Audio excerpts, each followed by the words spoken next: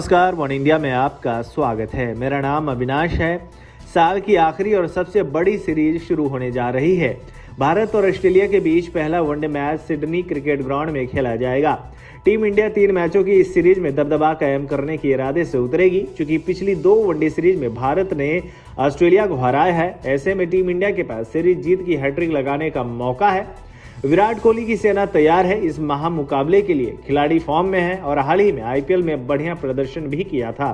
तो दुनिया की दो सबसे ताकतवर टीमें आपस में भिड़ने वाली है। इस मैच में विराट कोहली के पास बड़ा रिकॉर्ड बनाने का मौका है। यह मैच कोहली के लिए खास हो सकता है, अगर उनके बल्ले से शतक आए तो।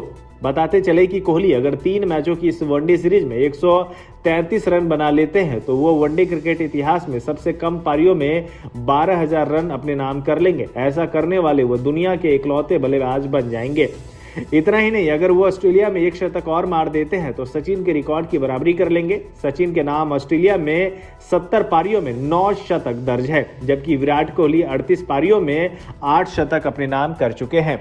दूसरी ओर, विराट कोहली ऑस्ट्रेलिया के खिलाफ सीरीज़ में दो शतक मार देते हैं तो वो शतक मारने के मामले में रिकी पॉन्टिंग को पछाड़ देंगे।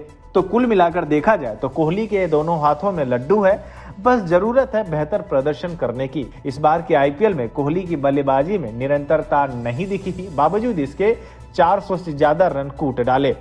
पर इतने से काम नहीं चलेगा। इस साल की शुरुआत में टीम इंडिया के लिए कुछ ज़्यादा हासिल हुआ नहीं है। लिमिटेड ओवर सीरीज़ में जीते ज़रूर, पर न्यूजीलैंड के खिलाफ वनडे और टेस्ट सीरीज़ में बुरी तरह हार मिली थी। ऐसे में कोहली सेना चाहेगी कि साल का अंत जीत के साथ हो।